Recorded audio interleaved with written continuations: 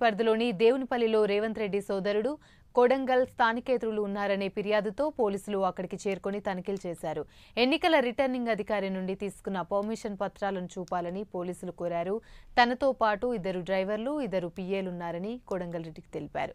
కొండలరెడ్డికి తెలిపారు అనుమతి లేకుండా స్థానికేతరులు ఉండరాదని ఒకవేళ ఉంటే అనుమతి పత్రాలను చూపించాలని కాంగ్రెస్ నాయకులను పోలీసులు కోరారు. ఇక రిటర్నింగ్ అధికారి నుండి తీసుకున్న పత్రాలు కొండలరెడ్డి చూపకపోవడంతో పోలీసులు ఆయన ఇంటి వద్దే పహారా కాస్తున్నారు. కాంగ్రెస్ నాయకుల ఇండ్లని పోలీసులు చుట్టుముట్టడాన్ని ఖండిస్తున్నామని కొండలరెడ్డి అన్నారు.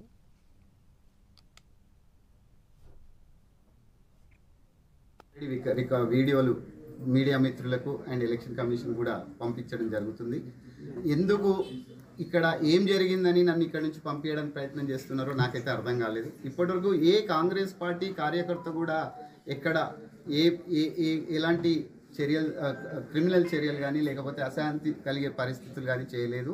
అలాగే రాత్రి మా వైస్ చైర్మన్ గారు కామారెడ్డి మన చంద్రశేఖర్ రెడ్డి గారి ఇంటి మీద కూడా రాత్రి పోలీస్ డిపార్ట్మెంట్ మొత్తం మీద పడి ఒక నలభై యాభై మంది పోలీసు వచ్చి ఇంటిని బాగా సతాయించడం జరిగితే మా కాంగ్రెస్ పార్టీ కామారెడ్డి జిల్లా నాయకులందరూ దాన్ని ఎదిరించడం జరిగింది.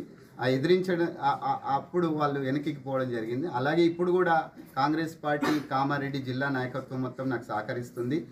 పోలీస్ వాళ్ళని నేను ఒక క్వశ్చన్ అడగాలనుకుంటున్నాను ఆల్రెడీ బొంతు రామ్మోహన్ గారు శేరి సుభాష్ రెడ్డి గారు తర్వాత సంగారెడ్డి సారీ శ్రీనివాస్ శ్రీనివాస్ రెడ్డి గారు సిద్దిపేట శ్రీనివాస్ రెడ్డి గారు బాలమల్లి గారు ఇక్కడ ఫామ్ హౌస్లో